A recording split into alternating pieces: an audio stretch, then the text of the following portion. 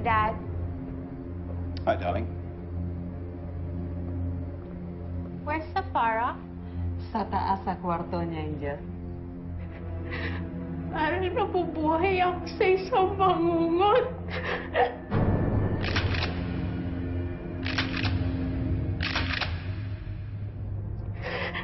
ako na lang po magdadala kay Papa. Kay Papa.